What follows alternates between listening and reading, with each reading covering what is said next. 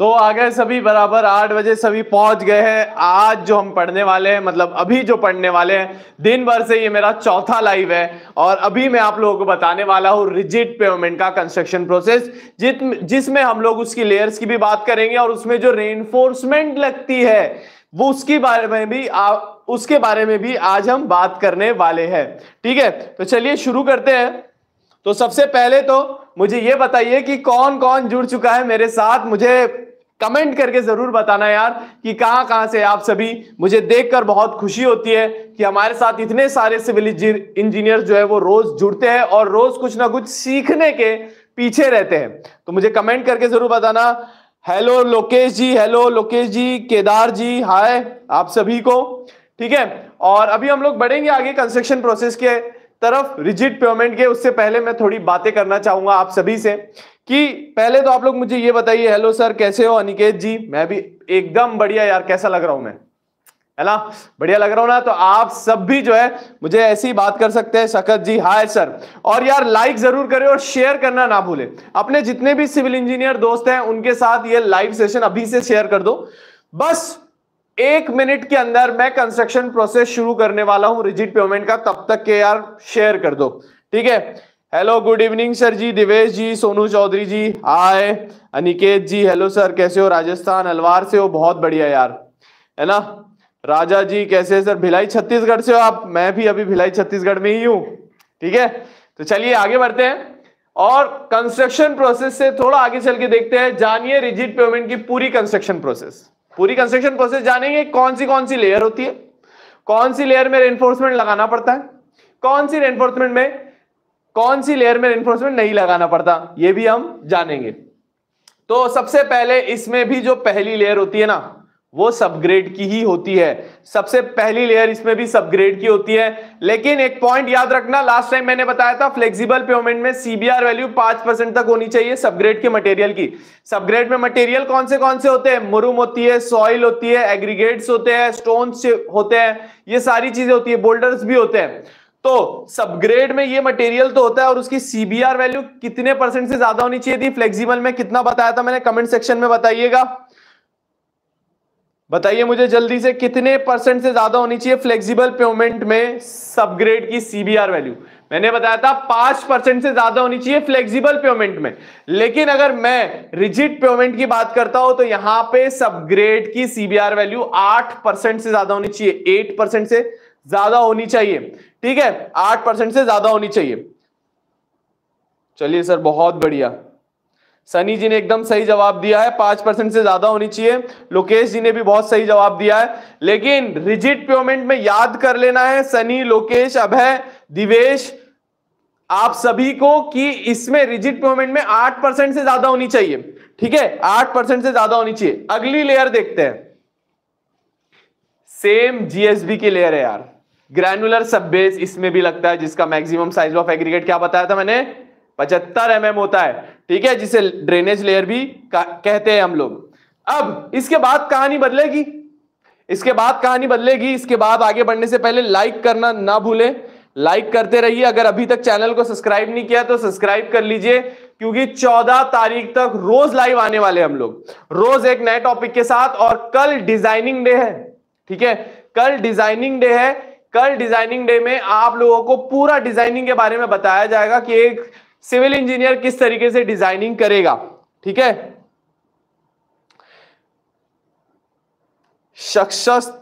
शख्सस्तर नाम है उनका, वो पूछ रहे, सर रिजिट पेमेंट मतलब क्या होता है? चलिए मैं थोड़ा सा आप लोगों को बता देता हूँ। रिजिट पेमेंट जिन लोगों को नहीं पता, उन्हें बताता हूँ। हमारा फ्लेक्सिबल पेमेंट होता है बिटुमिन का बना हुआ, और रिजिड पेमेंट बनता है कंक्रीट से। ठीक है? तो रिजिड पेमेंट पूरा कंक्रीट मटेरियल से बनता है, और फ्लेक्सिबल पेमेंट बनता है बिटुमिन से। अब आप लोगों को बिटुमिन दिमाग में ही आ रहा होगा, थोड़ा फ्लेक्सिबल लचीला पदार्थ है। और रिजिड पेमेंट इसलिए रिजिड कहा जाता है, क्योंकि इसमें जो लोड ट्रांसफ़र होता है, वो कैसे होता है? स्लैब टू स्लैब होता है। और फ्लेक्सिबल पेमेंट में लोड ट्रांसफ़र कैसे होता है? ग्रेन टू ग्रेन होता है। ठीक है? तो चलिए अब डिफ्रेंसिएशन ही शुरू कर दिया हूँ मैंने। तो पहले डिफ्रेंसिएशन के ऊपर ही बात करते हैं। नोट्स निकाल लेना है सभी को, ठीक है? पेन पेपर निकाल के तैयार रहना है। गुड इवनिंग गुड इवनिंग ठीक है? तो चलिए, सबसे पहला पॉइंट लिखते हैं कि जो फ्लेक्सिबल पेमेंट होता है, वो उसकी लाइफ 15 साल है अगर तो रिजिड पेमेंट की लाइफ 30 साल होती है। अगर रिजिड पेमेंट अगर फ्लेक्सिबल पेमेंट की लाइफ 15 साल है तो रिजिड पेमेंट 30 साल चलता है। उसी के साथ साथ अगर मैं लोड ट्रांसफ़र की बात करूँ तो जहाँ पर फ्लेक्सिबल पेमेंट में लोड ट्रांसफ़र होता है ग्रेन टू ग्रेन वैसे ही रिजिड पेमेंट में लोड ट्रांसफ़र होता है स्लैब टू स्लैब ठीक है? अगर मैं बात करूँ फ्लेक्सिबल पेमेंट की तो इसका इकोनॉमिकली ये थोड़ा सस्ता पड़ता है। इकोनॉमिकली आता है ये। सस्ता है। लेकिन इस, ये हाई मेंटेनेंस है। कौन हाई मेंटेनेंस है? फ्लेक्सिबल पेमेंट इसकी इनिशियल कॉस्ट जो होती है, वो कम होती है। फ्लेक्सिबल पेमेंट की इनिशियल कॉस्ट कम होती है। लेकिन इनिशियल कॉस्ट कम होती है, लेकिन इसका मेंटेनेंस कॉस्ट ज़्यादा होती है। फ्लेक्सिबल पेमेंट की। वहीं पर अगर मैं रिजिड पेमेंट की बात करूँ तो इनिशियल कॉस्ट ज़्यादा होती है रिजिट पेमेंट की। लेकिन मेंटेनेंस कॉस्ट बहुत कम होती है। क्या बोला मैंने? एक बार क्लियरली फिर से रिपीट कर देता हूँ आप लोग के लिए कि फ्लेक्सिबल पेमेंट की इनिशियल कॉस्ट कम होती है, लेकिन मेंटेनेंस कॉस्ट ज़्यादा होती है। वहीं पर अगर मैं रिजिड पेमेंट की बात करूँ तो इनिशियल इनिशियल कॉस्ट ज़्यादा होती है और मेंटेनेंस कॉस्ट कम होती है, ठीक है? उसी के साथ साथ अगर मैं नाइट विजिबिलिटी की बात करूँ तो फ्लेक्सिबल पेमेंट की कम होती है। नाइट विजिबिलिटी जब आप गाड़ी चलाओगे, धूम मचाले करोगे, तब हमारी नाइट विजिबिलिटी क्या रहेगी? कम रहेगी। किसमें? फ्लेक्सिबल पेमेंट में। लेकिन जब रिजिड पेमेंट में आप लोग गाड़ी चलाओगे, तब उसकी नाइट विजिबिलिटी ज़्यादा रहेगी। तो ये आप लोगों को ध्यान में रखना है। ठीक है? अब जीएसबी के बाद की लेयर भाई लाइक करते चलना है ना सब्सक्राइब करते चलना है और कमेंट करते रहना है। तो मुझे पता रहेगा कि आप लोग मेरे साथ जुड़े हुए हो। नहीं तो लगेगा मैं अकेले ही हूँ। ठीक है? अब जीएसबी के बाद अगली लेयर कौन सी है? डीएलसी की। यहाँ से हम लोगों को ध्यान देना शुरू करना है। डीएलसी का फुल फॉर्म होता है ड्राई लीन कॉन्क्रीट क्या होता है डीएलसी का full form? Dry lean concrete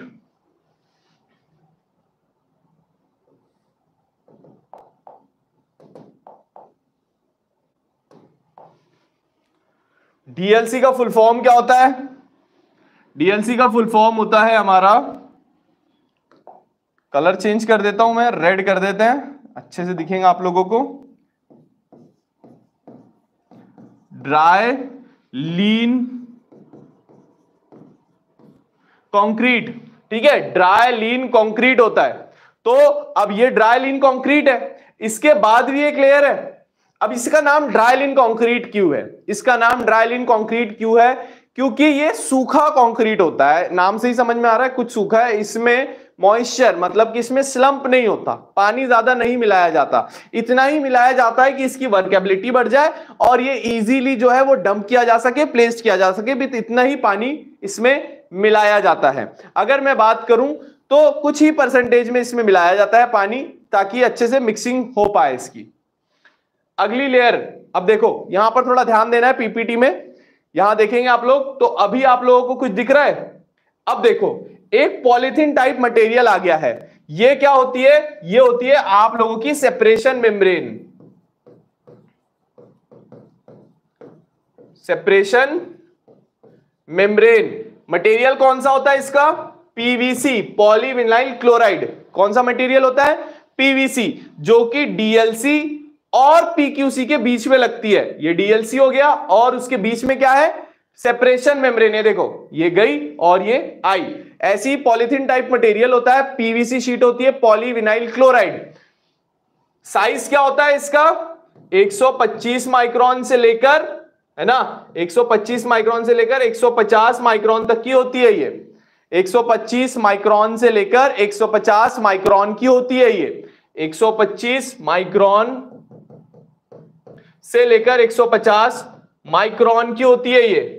ठीक है? याद रखना है आप सभी को 125 माइक्रोन से लेकर 150 माइक्रोन की होती है। ठीक है? अब इसके बाद आगे बढ़ते हैं। डीएलसी हो गया ड्राइलिन कंक्रीट। उसके बाद सेपरेशन मेम्ब्रेन हो गई। अब इसके बाद एक और लेयर जो कि है पीवीसी लेयर। ठीक है? PQC layer. अब पीक्यूसी का फुल फॉर्म क्या होता है? पीक्यूसी का फुल फॉर्म होता है पेवमेंट क्वालिटी कंक्रीट। क्या होता है? Pavement quality concrete. क्या होता है? पीबीसी पीक्यूसी का full form. Pavement quality concrete, जो कि फाइनल लेयर होती है।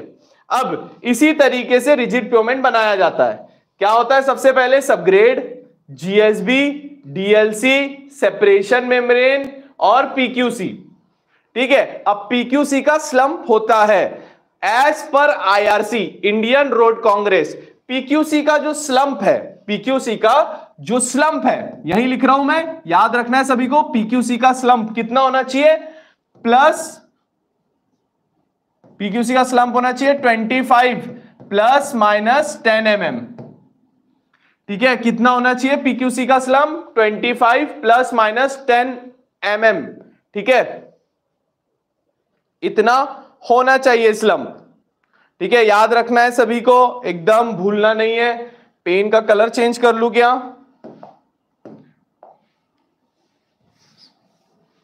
ठीक है, कितना होना चाहिए स्लम? स्लम कितना होना चाहिए पीक्यूसी का? कमेंट सेक्शन में बताओ, थोड़ी देर पहले ही बताया हूँ। 25 प्लस माइनस 10 एम mm. याद रखना है इंटरव्यू क्वेश्चन है कंस्ट्रक्शन साइट पर भी काम आने वाला है और उसी के साथ साथ अगर गवर्नमेंट की तैयारी कर रहे हो तो वहाँ भी पूछेगा ही पूछेगा, ठीक है? नमस्ते Udit ji. Sunny pavement quality concrete PBC नहीं, पीक्यूसी बढ़ाया हूँ मैंने, बहुत बढ़िया बहुत बढ़िया, अभय चौधरी जी। यहाँ पर एक सवाल है प्रियराज जी का कि, सर सेपरेशन में क्या सब यूज़ कर सकते हैं? क्या सब यूज़ कर सकते हैं? पीवीसी शीट यूज़ कर सकते हैं। ठीक है? पॉलीमिलाइल क्लोराइड की शीट यूज़ कर सकते हैं। पीवीसी शीट यूज़ कर सकते हैं, जिसका 125 से लेके 150 माइक्रोन तक का उसकी थीकनेस होगी। ठीक है? क्लियर है सभी को? ये तो आगे बढ़ेंगे हम लोग। क्लियर होगा तो कमेंट करके बताइए क्लियर है तो आगे बढ़ेंगे हम लोग, ठीक है?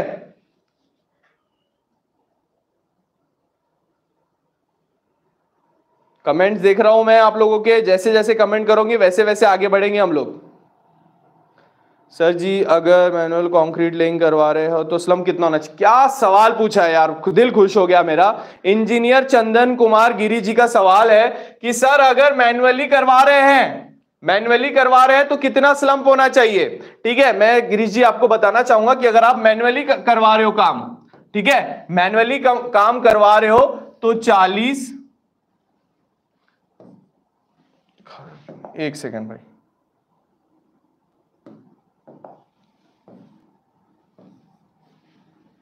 क्या हो गया?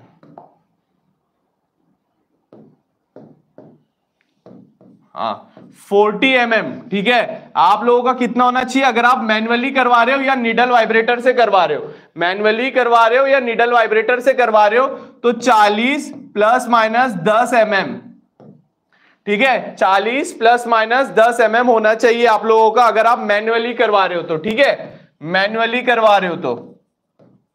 मैनुअली करवा रहे हो तो आप लोगों का 40 plus minus 10 M mm slump होना चाहिए। स्लम्प भी लिख देता हूँ।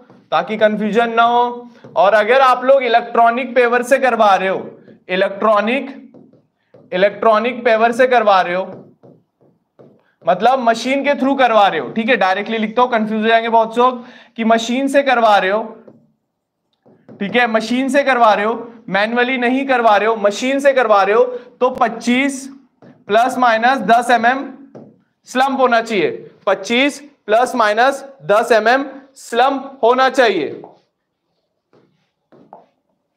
ठीक है? मशीन से अगर करवा रहे हो, मशीन से अगर करवा रहे हो तो 25 plus minus 10 m m slump होना चाहिए। और अगर आप लोग मैनुअली करवा रहे हो मैनुअली करवा रहे हो तो slump 40 plus minus 10 m m होना चाहिए, इंजीनियर चंदन कुमार जी। क्लियर है अभी? मशीन क्या है? मशीन मतलब जो इलेक्ट्रॉनिक पेवर मशीन होती है, आप लोगों ने देखा होगा कंक्रीट को प्लेस करने वाली, जिसके अंदर पहले से वाइब्रेटर्स लगे होते हैं। मैनुअली हम लोग मैनुअली किसे कहते हैं? जब हम लोग जो है लेबर्स की मदद से और निडल वाइब्रेटर की मदद से काम करवाते हैं, उसे मैनुअली कंस्ट्रक्शन कहा जाता है। ठीक है? स्लम का मतलब क्या होता है सर एक स्लम का मतलब होता है कि कितना पानी, कितना वर्केबिलिटर कितना पानी उसके अंदर मौजूद है, वो हम लोग चेक करते हैं स्लम टेस्ट से स्लम कौन टेस्ट मेरा यूट्यूब पे भी वीडियो है स्लम कौन टेस्ट का, वो जाके ज़रूर देखे, अगर किसी को नहीं पता होगा। सनी खान जी का एक सवाल है, सर डॉवेल बार और टाई बार के बारे में बताए। बिल्कुल बताऊँगा यार स्टील बार भी डालते हैं। बिल्कुल, यादव जी स्टील बार भी डालते हैं, उसी की तरफ़ बढ़ रहा हूँ मैं आगे। ये क्लियर है क्या? तो हम लोग डॉवेल बार और टाई बार की तरफ़ बढ़ेंगे। कमेंट करके बताना, ठीक है? कमेंट करते रहोगे तो पता रहेगा। सर लेयर्स की थिकनेस कितनी रखनी है? भाई, ये तो ड्राइंग में मेंशन होगा। लेयर की थिकनेस कितनी रहेगी? लेयर की अगर मैं थिकनेस की बात करूँ तो ये आप लोगों को टीसीएस ड्राइंग में बताया जाता है। ये टीसीएस ड्राइंग में लिखा हुआ रहेगा कि लेयर की थिकनेस कितनी होनी चाहिए। ठीक है? लेयर की थिकनेस आपको टीसीएस ड्राइंग में बताई जाएगी। चलिए, आगे बढ़ते हैं। हैदर अली जी, कोई डाउट है तो बिल्कुल आप पूछ सकते हैं लिख के। ठीक है? क्लियर है सर क्लियर है सर हैदर जी, बताइए, क्या डाउट है आपको? कमेंट करिए। ठीक है? तो आगे बढ़ते हैं हम लोग और स्टील बार्स के बारे में थोड़ा सा समझते हैं। अब, यहाँ पर आप लोगों को बार दिख रही है। अब आप लोग सोच रहे हैं कि, सर, ये बार जो निकली हुई ये हरी क्यों है? ग्रीन क्यों है? ये ग्रीन इसलिए है क्योंकि इनके ऊपर इपॉक्सी कोटिंग की गई है। क्यों है ये ग्रीन क्योंकि इसके ऊपर इपॉक्सी कोटिंग की गई है। ये ग्रीन क्यों है? क्योंकि इसके ऊपर इपॉक्सी कोटिंग की गई है। कौन सी coating epoxy coating epoxy coating की गई है। ये हमारी डॉवेल बार है, ठीक है? ये हमारी जो है, ये डॉवेल बार है और इसके ऊपर इपॉक्सी कोटिंग की गई है। इपॉक्सी कोटिंग से क्या होता है? क्रोजन प्रूफ हो जाती है हमारी बार्स इपॉक्सी कोटिंग से क्या होता है? क्रोजन प्रूफ हो जाती है हमारी बार्स ठीक है, आप लोगों ने देखा होगा, बहुत सारा सरिया हरे हरे कलर का भी लगा होता है बिल्डिंग्स में। आप लोग क्या सोचते हैं, ग्रीन बिल्डिंग बन रही है? नहीं नहीं। वो है इपॉक्सी कोटेड बार्स ठीक है? कलर नहीं किया है प्रियराज जी, ये कोटिंग है। कलर नहीं है, ये कोटिंग है इपॉक्सी कोटिंग ठीक है?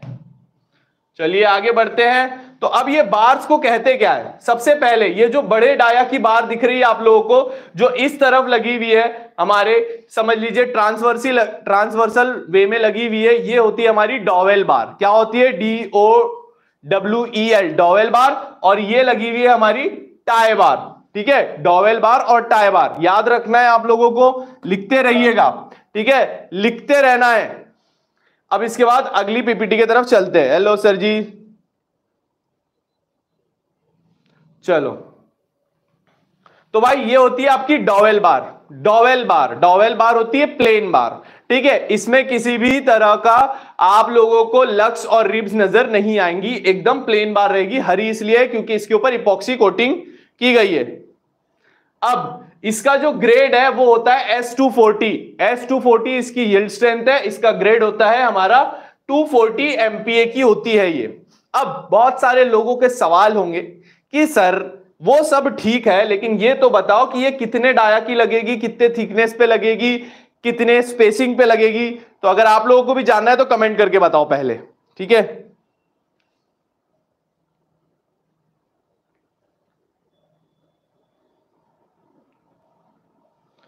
ठीक है ठीक है। बत, प्रियराज जी बोल रहे बत्तीस डाया का। ज़रूरी नहीं है, सर, हर लेयर में बत्तीस डाया की लगेंगी। बताऊँगा मैं अभी आप लोगों को। ठीक है? Sir, highway ground to top तक कितने फुट होता है? ऐसा नहीं है सर कि कितने फुट का होगा, वो वो थिकनेस में मेंटेन करेगा कि आपके टीसीएस में कितना थिकनेस बताया गया है, ये सारी लेयर्स जो मैंने बताई उनका, उसके बेस के ऊपर रहता है। जानना है सर? जी सर, बताइए। 16 एम एम बत्तीस एम एम विवेक पनवार जी। चलिए, समझते हैं। तो यहाँ पर आप लोगों को एक आईआरसी का जो है, वो टेबल नज़र आ रहा है, जो कि ये बता रहा है कि कितने एम एम डाया की आप लोगों को बाहर लगानी है।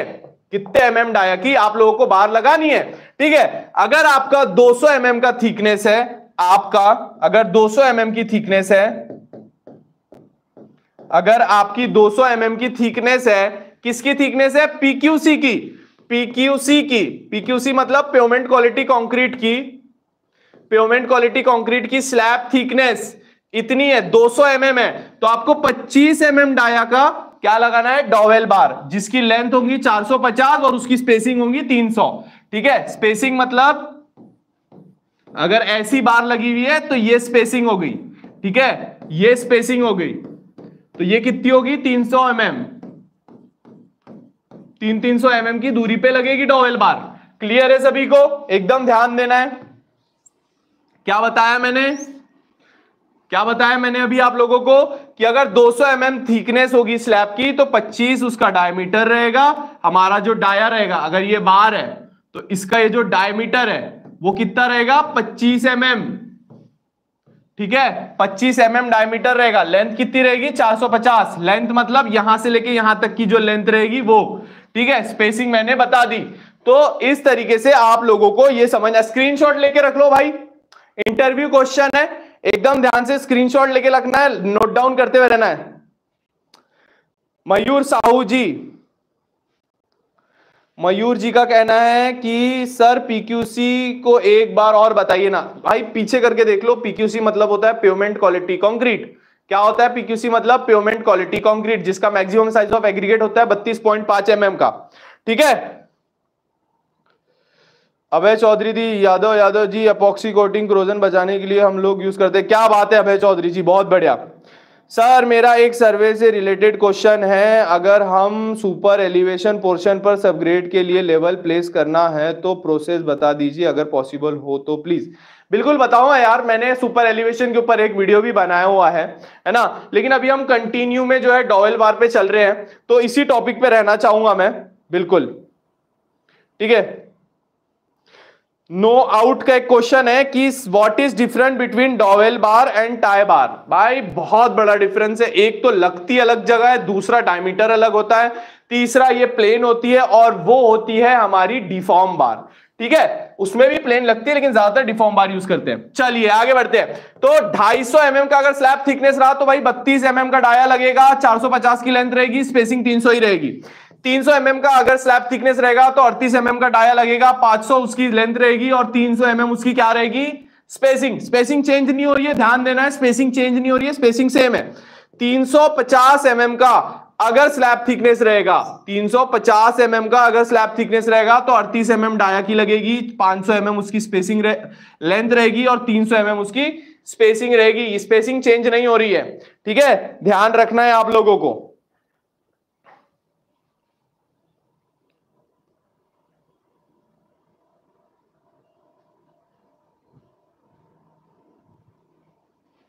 सर वीडियो नहीं हटेगा।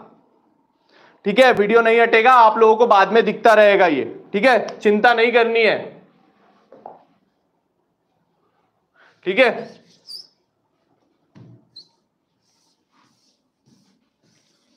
तो और सवाल पूछो यार, डॉवेल बार से रिलेटेड कमेंट में। डॉवेल बार से रिलेटेड सवाल पूछेंगे सभी। डॉवेल बार से रिलेटेड सवाल पूछेंगे सभी।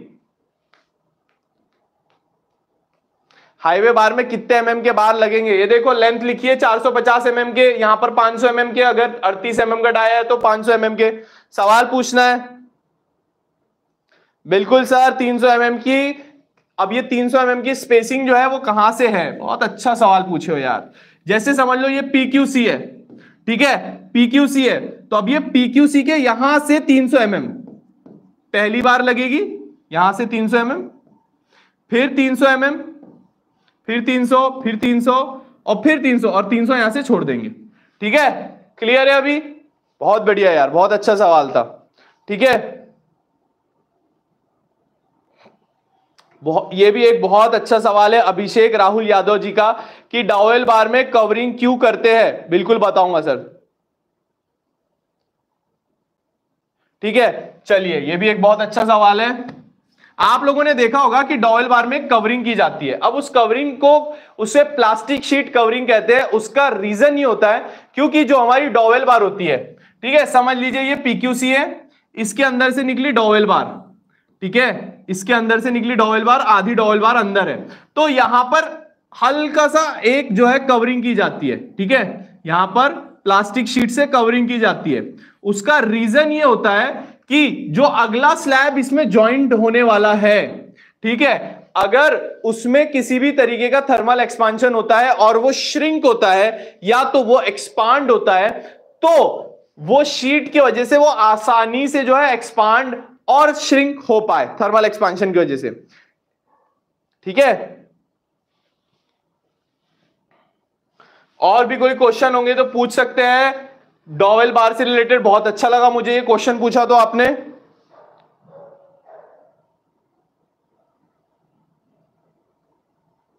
अदर ग्रेड यूज़ किए डॉवेल बार की लेंथ स्पेसिंग डाया चेंज होता है क्या?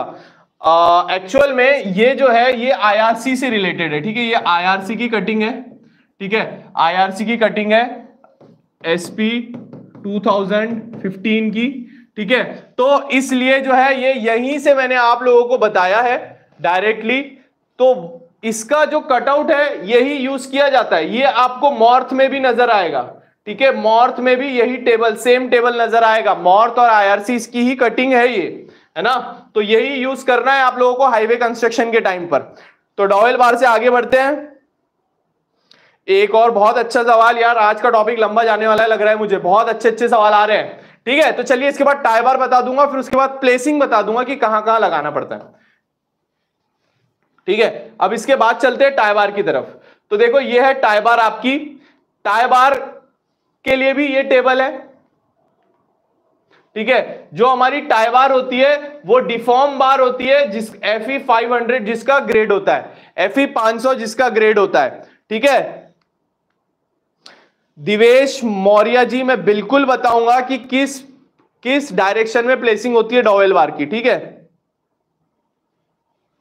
ठीक है, बिल्कुल बताऊँगा, घबराने की बात नहीं है, अभी हूँ मैं आपके साथ, ठीक है? अगर स्लैब थिकनेस 150 एम mm की है तो 8 एम mm का या 10 एम mm का डाया यूज़ कर सकते हो प्लेन बार रही तो इतना, लेकिन प्लेन बार यूज़ नहीं की जा रही है प्लेन बार बहुत कम यूज़ की जाती है प्लेन बार यूज़ नहीं की जा रही है, सिर्फ़ डिफॉर्म बार यूज़ की जा रही है अभी तो आप लोग यही पढ़िए, ठीक है? डिफॉर्म बार पढ़िए कंफ्यूज नहीं होना है। 8 एम mm का डायर है तो 350 की स्पेसिंग रहेगी 10 एम mm का डायर है तो 830 की रहेगी, ठीक है? ये आप लोग स्क्रीनशॉट लेके रखो यार, मैं एकदम बोलूँगा आप लोगों को, ये चीज़ें आप लोगों को हर बार देखने नहीं मिलने वाली, है ना? हर सेशन में देखने नहीं मिलने वाली, कहीं और नहीं मिलने वाला, ये यही मिलने वाला है तो स्क्रीनशॉट लेके रखिए आप लोग, ठीक है? बिल्कुल यूज़ कर सकते हैं सर। सीमेंट रोड के ऊपर एसफाल्ट का मैं बताऊँगा आगे के सेशन में। अगर कभी आ, मैं वीडियो भी ज़रूर बनाऊँगा। बहुत अच्छे अच्छे टॉपिक दे दे रहे हो आप लोग मुझे वीडियो बनाने के लिए। ज़रूर बनाऊँगा मैं इस पे वीडियो ठीक है?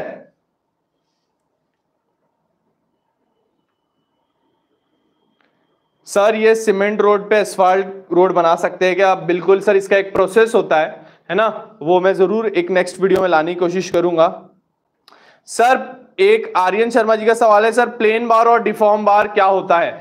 सर प्लेन बार देखे होंगे, आपने एकदम स्ट्रेट और एकदम साफ़ होती है, चिकनी होती है और एक होती है नॉर्मल बार जो आप लोगों ने देखा होगा स्टील बार जो होती है डिफॉर्म बार उसमें लक्स और रिब्स होती है। है ना? लक्स और रिब्स मतलब उसके ऊपर इस तरीके से जो है आप लोगों को रिंग बनी हुई दिखेगी, है ना? ग्रेडिंग दिखेगी टेक्सचर दिखेगा, वो होती है हमारी डिफॉर्म बार जो कि नॉर्मली यूज़ होती है। ठीक है? प्लेन बार मतलब ऐसी प्लेन होती है वो। ऐसी प्लेन होती है उस पर किसी भी तरीके की लग्स और रिब्स नहीं बनाई जाती। जो आप बिल्डिंग में देखते हो बार वो होती है डिफॉर्म बार ठीक है? और वही यूज़ करनी है यहाँ पर। ठीक है तो मैं पढ़ा रहा था टाई बार टाई बार में 150 एम mm का अगर स्लैब थिकनेस रहा तो इतना उसकी स्पेसिंग लेंगे मिनिमम लेंथ उसकी इतनी रहेगी और इतना डाया रहेगा। तो ये अभी आप लोग पढ़ लीजिए। ध्यान से और कोई क्वेश्चन होगा टाई बार से रिलेटेड तो पूछिए कमेंट सेक्शन में। जल्दी जल्दी पूछना है।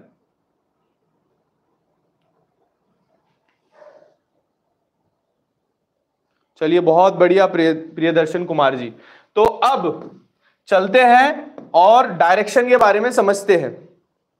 ठीक है? डायरेक्शन देखेंगे सभी। जैसे समझ लो, ये पीक्यूसी है आपकी। ठीक है? जैसे समझ लीजिए, ये पीक्यूसी है आपकी। ऐसी पीक्यूसी बन रही है। ठीक है? पीक्यूसी पेमेंट क्वालिटी कंक्रीट है ना? तो अब इसमें जो डॉवेल बार लगेगी, वो इस तरीके से लगेगी। ठीक है? ये क्या हो गई? ये हो गई आपकी डॉवेल बार। ये हो गई आप लोगों की डॉवेल बार। और जो यहाँ लगेगी, ये हो गई आप लोगों की टाई बार। अब टाई बार क्यों लगाते हैं? क्योंकि समझ लो क्योंकि समझ लो, जैसे ये छह मीटर है और आपको 12 मीटर का रोड बनाना है तो आपकी मशीन ने 6 मीटर कास्ट की और आगे चल के आपको 12 और जो है वो 6 मीटर का रोड बनाना है। तब यहाँ पर, तब यहाँ पर हम लोग टाई छोड़ देंगे, ताकि जो अगला पेमेंट इससे चिपक के आने वाला है, उसके बीच में अच्छे से टाई हो, अच्छे से बंधे वो एक दूसरे से। और इसी को अगर कोई, जैसे ये नया, ये जो है ओल्ड कंक्रीट हो गया, है ना? ये ओल्ड कंक्रीट हो गया। इसके बाद यहाँ पे न्यू कंक्रीट आने वाला है है ना? न्यू कंक्रीट आने वाला है। तो ये दोनों के बीच में एक जॉइंट बन गया ना, और उस जॉइंट में क्या दिया हम लोगों ने टाई बार? तो इस जॉइंट को क्या बोलते हैं? कंस्ट्रक्शन जॉइंट कौन सा जॉइंट बोलते हैं? कंस्ट्रक्शन जॉइंट ये भी बहुत ज़्यादा इंपॉर्टेंट है भाई। पढ़ते रहना है, समझते रहना है। ठीक है? सर, क्या पूछ रहे हैं इंजीनियर बैकवेंजर जी? सर, आप सबसे पहले आईएस कोड सिखाओ। सर आईएस कोड भी सिखाएँगे हम लोग, बिल्कुल। बिल्कुल, सर, पाँच एफ़ ई पाँच सौ पचास भी यूज़ कर सकते हो आप, कोई प्रॉब्लम नहीं है। एफ़ ई पाँच सौ और एफ़ ई पाँच सौ पचास भी यूज़ कर सकते हो। ठीक है? एफ़ ई पाँच सौ पचास भी यूज़ कर सकते हो। तो ये हो गई टाई बार ये हो गई डॉवेल बार और कोई क्वेश्चन है क्या? और यहाँ पे भी आएगा तो यहाँ पे भी डॉवेल बार देंगे हम लोग। ध्यान देना है आप लोगों को, ठीक है? टेम्परेचर कौन सा टेम्परेचर की बात कर रहे हो आप? अगर टेम्परेचर की बात करूँ तो पीक्यूसी की जो कास्टिंग की जाती है, वो प्रिफर किया जाता है कि 30 डिग्री सेल्सियस के इसमें हम लोग कास्ट करें पीक्यूसी को। 30 डिग्री सेल्सियस में हम लोग पीक्यूसी को कास्टिंग करते हैं, ठीक है? पीक्यूसी की जो कास्टिंग करनी चाहिए, वो 30 डिग्री सेल्सियस में करनी चाहिए।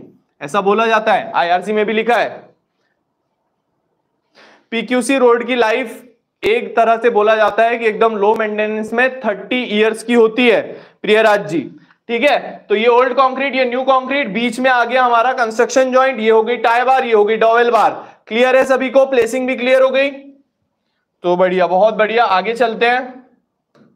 और यार, ये डिटेलिंग आप लोगों को जो है ना हाईवे कंस्ट्रक्शन की अगर मैं कहूँ तो अगर आपको डिटेल में सीखना है तो सिविल गुरुजी जो है, आप लोगों के लिए सिविल गुरुजी जो है वो आप लोगों के लिए एक सरप्राइज़ लेके आया है। ये कंस्ट्रक्शन वीक आप लोगों को कल डिज़ाइनिंग डे है। कल डिज़ाइनिंग डे में सुबह दस बजे, उसके बाद दोपहर एक बजे, शाम पाँच बजे और रात आठ बजे। फिर से हम लोग लाइव आने वाले हैं डिज़ाइनिंग डे के लिए। तो आप लोग ज़रूर कल भी जो है वो आइए और ज़्यादा से ज़्यादा लोगों को बताइए। जो लोग आज ज्वाइन नहीं कर पाए होंगे, उनके साथ भी ज़रूर शेयर कर देना। ठीक है? अब इस कंस्ट्रक्शन वीक आप लोगों को एक गिफ्ट भी मिलने वाला है। और वो गिफ्ट क्या है, थोड़ी देर में बताता हूँ, लेकिन गिफ्ट कब मिलेगा?